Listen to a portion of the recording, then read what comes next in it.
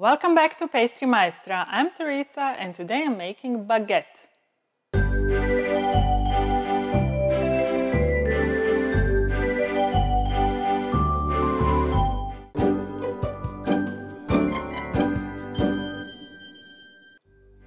The time is late 18th century and the place is Paris, France, of course.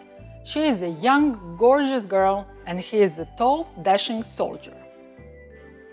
Mon Dieu! Are you really, really happy to see me? Or is that a baguette in your pants? She would ask. Forget bananas in the pockets. A whole baguette in the pants. Well, that's something else, right? Okay, what the fudge am I talking about? Well, the legend has it that Napoleon Bonaparte himself requested his army bakers to create a thin, elongated loaf so his soldiers could carry the bread effortlessly in their trousers. Gross, I know, but since it happened in France, let's call it exotic. Now, let me tell you about baguette.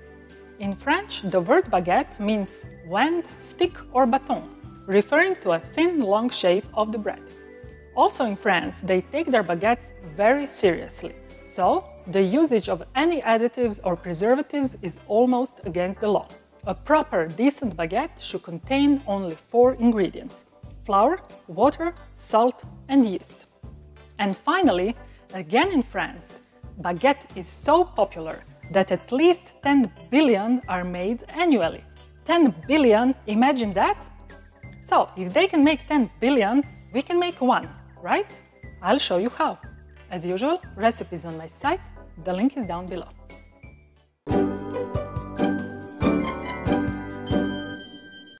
The first thing I'm gonna do is combine water and yeast and stir until yeast dissolves.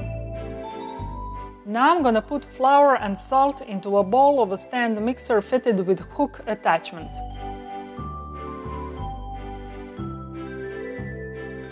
I'm gonna mix on low speed and add water with yeast.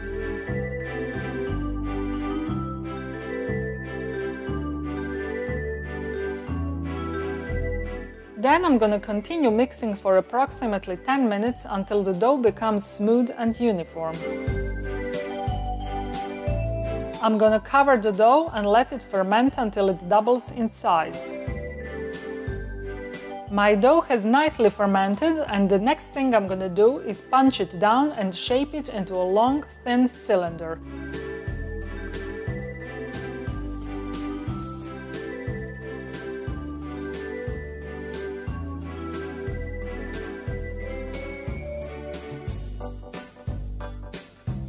I'm gonna place the shaped dough into a baguette mold and proof until it rises 50% in volume. My baguette is almost ready to bake. I'm gonna brush it with egg wash. If you wish, at this point you can sprinkle some seeds at the baguette. Now I'm gonna score 5 diagonal cuts in the baguette. I'm gonna bake my baguette at 220 degrees centigrade, which is 430 degrees Fahrenheit, for 15 to 20 minutes until golden brown. Voila, my baguette is done. I just need some butter and this puppy will disappear in no time.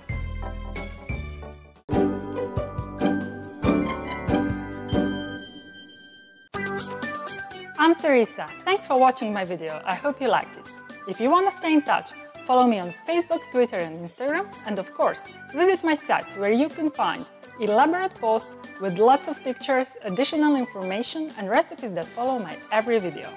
Also, on my site, you can download my free 365 pages ebook, The Pastry Chef, and maybe buy me a macaron. If you think that I've earned it. Now, before you go, please hit the like button and subscribe to my YouTube channel. That really helps a lot.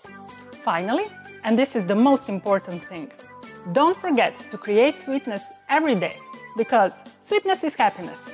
See you in my next video. Bye!